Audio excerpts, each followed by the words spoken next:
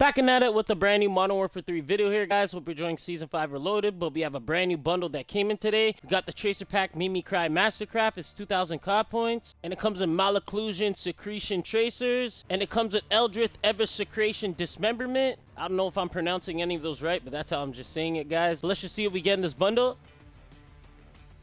Okay, we get the Monstrosity. Damn, yo. Holy, monstrosity for the Bruen MK9, but it's gonna look disgusting, dog. After market part, hip fire spread, and sprint to fire speed.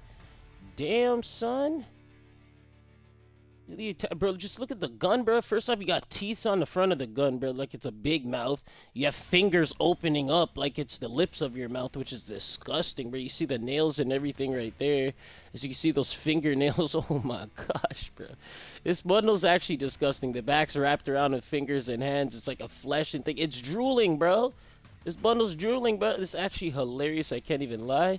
Got the JAK Shadow Titan kit as a conversion kit, okay. Got the JAK Glass Optic as the optic. It's actually really beast this class. Four attachments, I don't know why there's not five, but the conversion kit probably cancels out the rest. Next, guys, we get the Shifting Malice KVD Enforcer, undetected by radar, bullet velocity, and damage range. Okay. Also got a flesh skin onto this one. looks less disgusting, really, to be honest.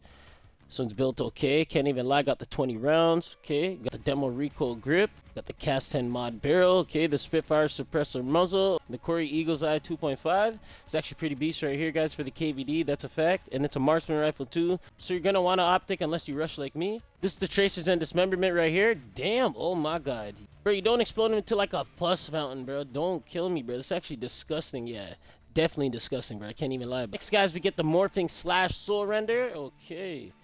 This one's also leaking out some stuff, bro. Was that drool? Nah, it's like decay something or something on that one. But yeah, the soul render looks pretty lit too with the flesh skin on this one too as well. Can't even lie. After that, guys, we get the Shifting Nightmare Con card. Okay, got the Monstrosity right there.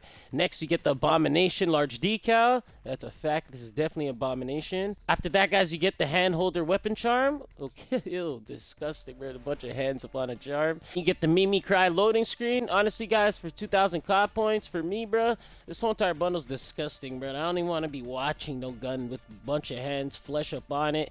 Remember, there's an eye on this gun, too, like it's alive, bro. But, yo, this is just disgusting Each gun that's provided in this bundle is really beast. I can't even lie, guys. It's built really good and also offers three blueprints. But at the same damn time, and guys, look of the whole entire gun freaks me out. It's actually disgusting for me. You guys might like it. It might remind you of like Walking Dead, Resident Evil, stuff like that. But for me, nah, I can't deal with stuff like this, bro. I can't even watch this for long, bro. I'll throw up. So I'd say it's kind of worth it. But hope you enjoy this bundle way more to come. Subscribe if you're new to my channel and like this video. Peace. Tall and she got her ass.